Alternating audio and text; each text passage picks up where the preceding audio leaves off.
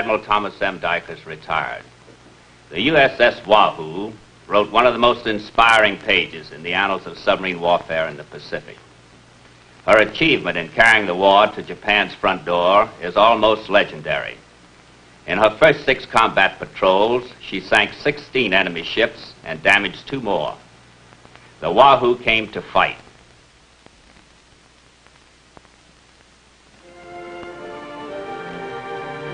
Her skipper, Commander D.W. Morton, stated it in one sentence. Sink 'em all. Dudley Morton loved combat. At Annapolis, he'd gone out for boxing, wrestling, and football.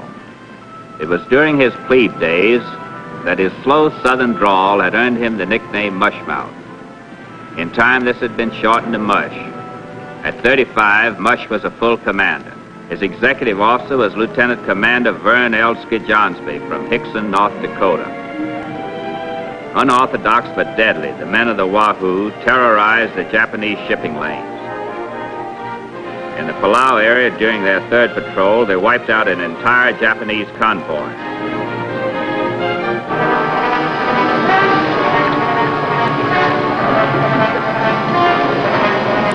Sinking a transport, a tanker, and two large freighters. On the way back to Pearl Harbor with all torpedo racks emptied, the Wahoo attacked another freighter with her deck guns. She was driven off by an escort vessel. It was during this action that Mush radioed his famous report. The Wahoo's dispatch has just been unscrambled. Read it. Another running gun battle. Destroyer gunning, Wahoo running.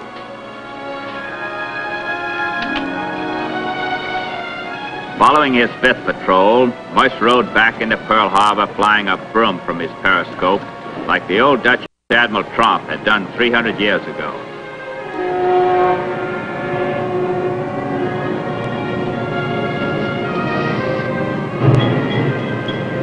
What's that thing flying from his periscope? Looks like a broom, sir. a clean sweep, eh? Now, maybe that's something you can write about, Mr. Leaf. Ah, it's colorful. Isn't that what you correspondents look for? I guess so, Admiral. You get plenty of that from Commander Morton. You may not be able to print it all. Mush is a little short on formality. I can see that, Admiral.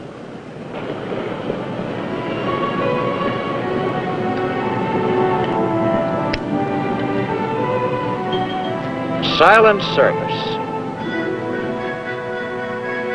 Men of the Wahoo started their weeks of rest. Joining them in their relaxation was Lieutenant Commander Dick O'Kane, the former executive officer of the Wahoo, who was waiting to return to the States to take command of the newly commissioned submarine Tang.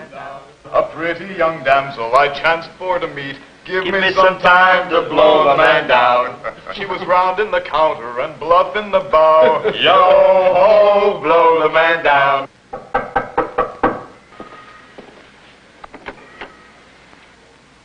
Unseen visitor requests permission to enter, sir. Permission granted. Unseen visitor has permission of the captain to enter. Aye, aye, sir. Lieutenant, tell them to come in.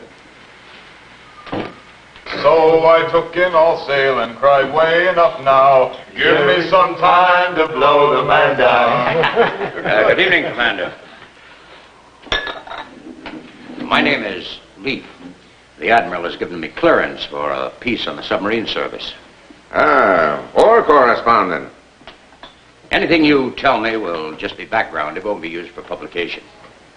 Gentlemen, the Wahoo's about to be immortalized in print for uh, 20 million readers. Uh, how many readers have you got, uh, Mr. War Correspondent? Well, I never counted them. Well, let's say 20 million then. is that all right with you? Anything you say, Commander. No, no, I, am more interested in what you've got to say.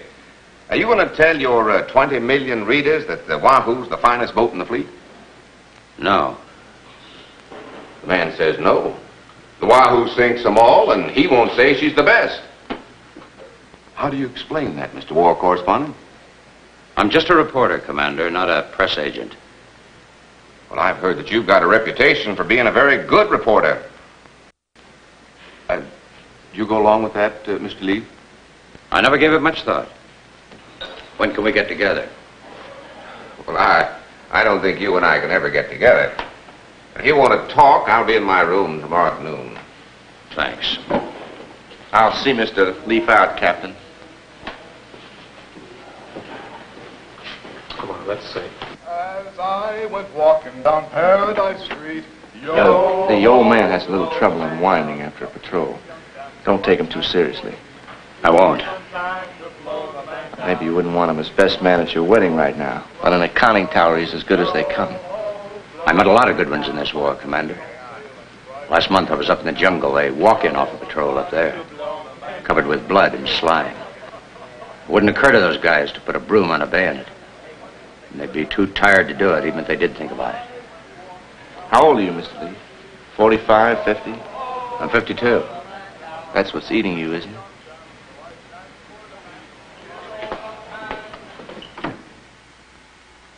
Sure you won't have a cup? No, thanks. Uh, what do you want to know about the Wahoo? Let's start with the record. We just completed our fifth combat patrol, the Kurile chain. We got two freighters, a tanker, damaged another freighter, a 15,000-ton aircraft transport. Now, what's the total to date? About 60,000 ton. That includes a Japanese sub and a destroyer. Where did you get the destroyer? Wewak Harbor. It's shallow there. We couldn't go deep enough to be safe from depth charging, so I had to get him first. How did you do it? Exposed my periscope. He came charging down on us trying to ram. I had a down the throat shot and blew her bow off. Now, that's a difficult shot, isn't it? So they say. We were awarded the Presidential Unit Citation for that patrol. I understand your next patrol is to the Sea of Japan. Where'd you hear that? It's just a rumor. Forget it. If it's true, it's top secret. Don't breathe a word of it. Well, I've been around long enough to know that, Commander. How would you like it if it is true? Hmm. I'd like that real fine. The Emperor's bathtub. That area must be full of targets. Virgin territory. Yeah. I'll tell you one thing, Mr. Leaf. If they send me out there, it won't be very long. That's very colorful. You mind if I use that sometime? Look me up when I get back. Don't forget a new ribbon for your typewriter. I won't. Don't you forget your broom. Anything else, Mr. Leaf? I have a feeling the big story is your next patrol. I'll wait till you get back.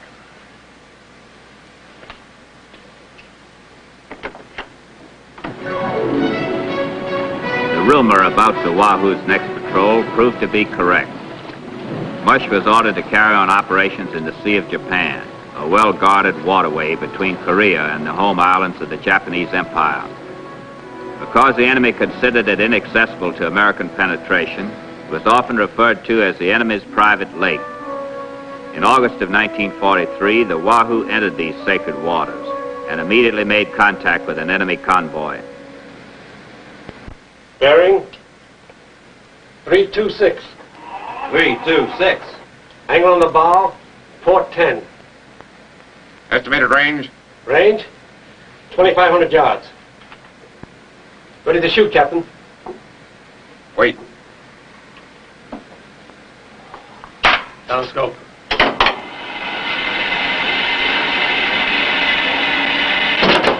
scope. Up scope. Shooting observation.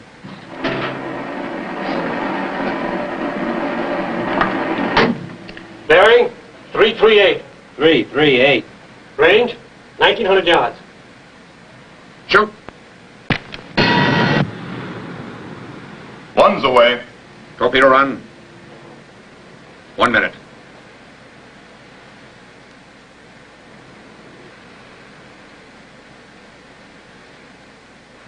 Five. Four. Three. Two. One.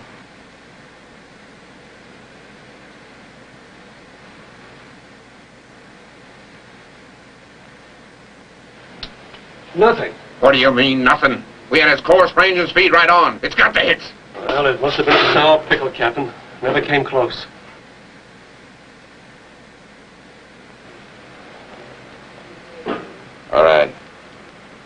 Soon as he clears, we'll surface run up ahead for another try. Aye, aye.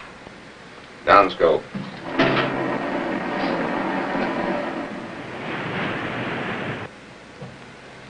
Fire one. One away. Fire two. Two away. Torpedo run, 45 seconds.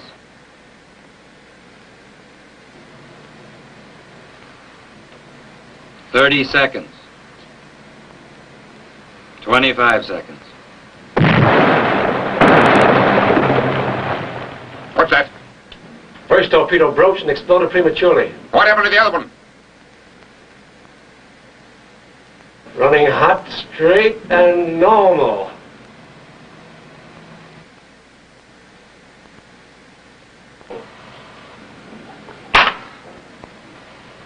Middle of the target. Low order explosion. Probably the air flask. Downscope. I hear a new set of propellers coming directly at us. Sounds like an escort. What do they want with us? We're not hurting anybody. Take her down to 300 feet. All right. Let's see what we got. Well, we calculated the target's course and speed right on the nose. The trouble's got to be with the torpedoes themselves. We checked every fish, Vern. Nothing wrong with any of them. That's only half the problem. The last fish ran true. Yeah, but all it did was bang up against the hull and sink. We might as well be shooting with practice torpedoes. You know, it, it might be the firing pin. The impact might bend it before it could set off the charge. There's nothing we can do about the firing pins now, Captain. Well, we can reduce the impact by setting the torpedoes to run slower. Well, that might help. Might give them better depth control, too. Well, these torpedoes are set for high speed. Let's reduce them to low speed and we'll try it again. Same area, Captain? no, no. No, they're looking for us here. We'll move down to the Hokkaido Korea route. Aye, aye, sir. Aye, sir.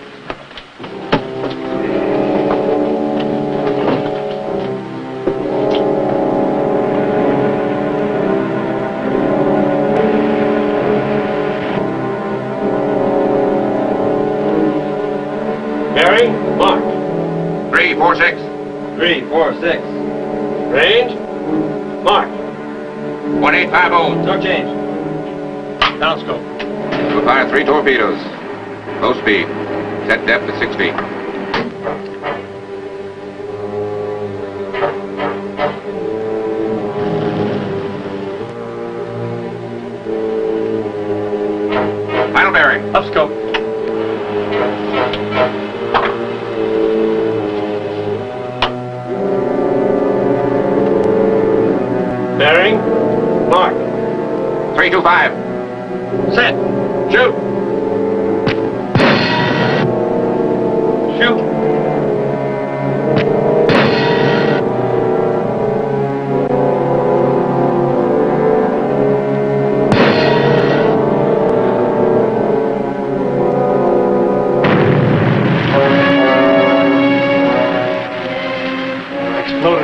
Exploded short of target.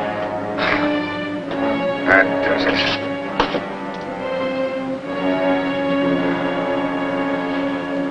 If they can't give us torpedoes that work, we'll surface and throw hand grenades at them. Down scope.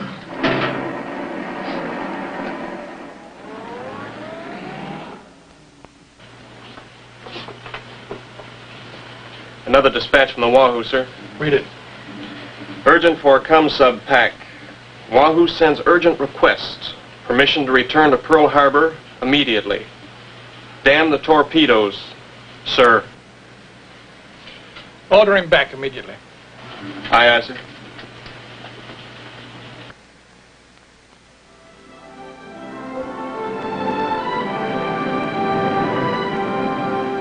On the Wahoo's sixth patrol, she had sighted a dozen Japanese vessels and fired ten torpedoes. Not a single one had performed properly. Mush's outraged message to the Admiral was understandable. So an irate skipper steams into Pearl Harbor. Yeah, they kill you, sir. That's what they do. Why, the Sea of Japan is just loaded with targets. It's a shooting gallery. And what happened? Not one sinking. Not a single thing to show for our run. Why, it kills you. All right, Namash. Just give me the highlights. I'll get the details later. Well, we planned our speed to get to La Perouse Strait at twilight. We made the run at night on the surface. Is the strait mine? Probably. But they got a neutral shipping lane. We went in with our navigation lights burning just like we belonged there. They looked us over, that's all. Why, those guys don't even know there's a war going on. We bounced one dud off a freighter's hull. She didn't even notice it. Didn't any of them explode? Either too soon or too late. One shot was 700 yards. You don't miss at that range. The target only had a speed of seven knots. She's still making knots. Ten fish, Admiral, and every one of them either failed to explode, went off too soon, or headed for the wide open spaces. You didn't fire the rest? No, I wanted to bring some home to see what's wrong with them. Mush, I understand you have your executive officer man the periscope. Yes, sir. Why is that? Well, I, I find it works better for me. I watch the plot in the data computer. That way I don't get trigger happy or scared and fire too soon. But no matter how nervous or how scared Vern gets, I don't fire until the time's right. It's a little unorthodox. Maybe. It's a good system if I've got good torpedoes. Tell me what you want, Mush, and I'll get it for you. You give me a load of good torpedoes and turn me around tomorrow. Now slow down a bit. Get your men up to the Royal Hawaiian for some rest. In a week or so, we'll have the first batch of torpedoes with a different firing pin. Does it work, sir? I think so. They're made out of very light aluminum. Besides that, we've got a new batch of torpedoes. The Mark 18 electric. They leave no air bubble trails. Uh, that sounds good to me. I like the idea, no air bubbles on the surface. All right, Mush. As soon as the Wahoo is loaded and fueled, we'll send you back to the Sea of Japan. In the meantime, if you cool off, you'll live long enough to send some more reports. They make lively reading anyhow, Mush. Uh, I was pretty mad at the time. How'd the old man take it? I think he got a kick out of it. But don't tell anybody I told you. There's a correspondent wants to talk to you. Oh, yeah?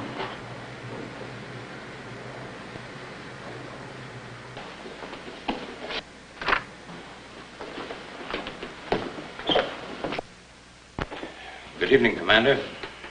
Hello. Sit down. Thank you. I, um, I hear that you ran into a streak of bad luck.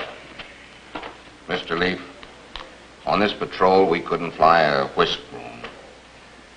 You can write about that if you like. That's all I got to report. They tell me you had ten torpedoes go sour on you. Yeah, ten. That isn't even a record. The Tinosa had 11 dud hits in a row. Well, Commander, you really can't sink 'em all, you know. Why not? We're sure going to try. You got an answer for that one? We're going back out there, Mr. Leaf. Maybe we'll do it right this time. If you can wait that long. I can wait. Good hunting.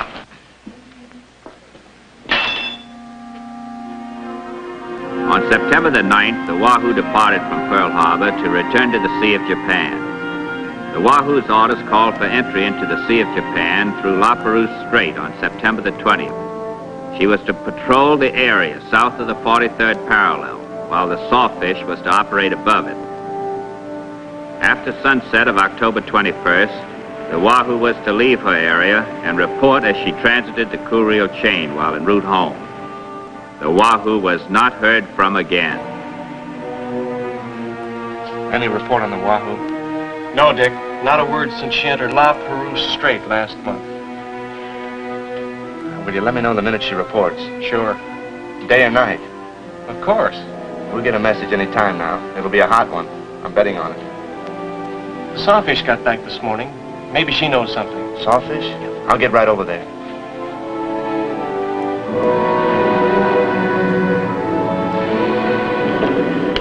Have you talked to anyone? No, I just got here. There's nothing at headquarters. Let's go below. I saw Mush in Midway in September, just before he pulled out. He was a wild man. Having all those pickles go sour on his last patrol did something to him. Yeah, I thought we were going to have to tie him down. He topped off with fuel and got underway on the 13th. I followed two days later. Did anyone get on your tail? A few times. Coming through this strait, a patrol boat laid five depth charges around us. Any contact with Mush after he left Midway? No, I didn't sign him leave. Didn't pick up any radio messages. We cleared the area on the 21st, reached Midway 10 days later. They hadn't received any transmission either. Then the last message he sent was the night he entered La Perouse Strait. The last one so far. Dick, there's already been an aircraft search along his route. Nothing. Boats have been overdue before. We'll hear from him. I know Mush. He's sitting out there someplace right now dreaming up a report. Yeah, if it was anybody but Mush. Well, I want to read his report. You wanted me, sir? Yes, Dick. Bad news on the Wahoo. Well, I don't believe... Sorry, sir. I just can't make myself believe it. We just picked up a broadcast from Tokyo. Ward, Yes, sir. read it. Dated October 11th. Our planes found a floating sub in La Perouse Strait and attacked it with three depth charges. That could have been the Sawfish. She was attacked in the strait. The Sawfish was attacked two days earlier by patrol boats. Five depth charges. We have to assume it was the Wahoo. Does Tokyo claim to have sunk her? No. Admiral, I... I don't want to believe it either, Dick. But the Wahoo is 30 days overdue. And no word has been received from her since she transited La Perouse Strait. That was over two months ago. I'd still say we'll get a message from her, sir.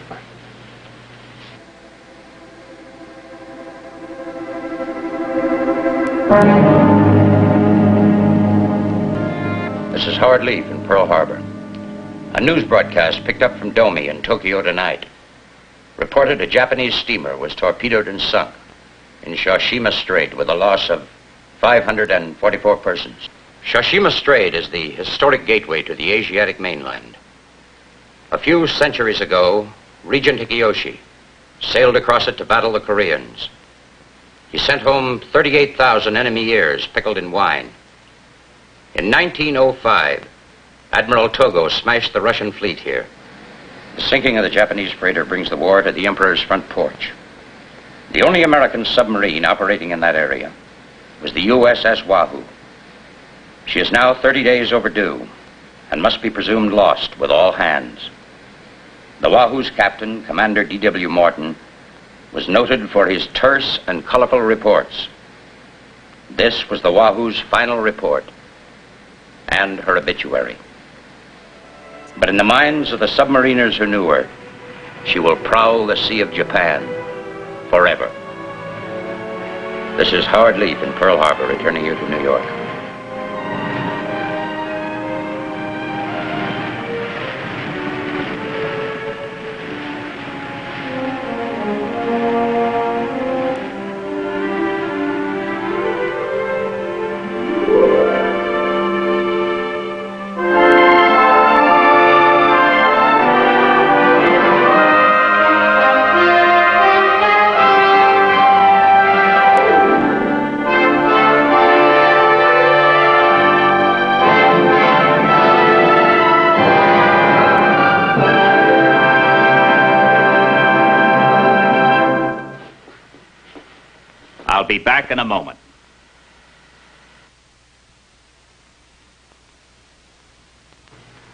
Submariners had a great respect for the Wahoo, and I want to add a few words about her.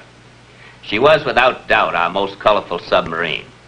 In addition to the broom, she used to fly a long pennant with the words, sink the sons of guns on it.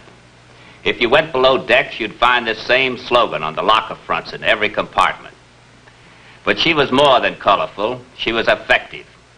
Up to the time of her loss, she was leading the way in destruction of the enemy. Every officer and man was proud of that ship.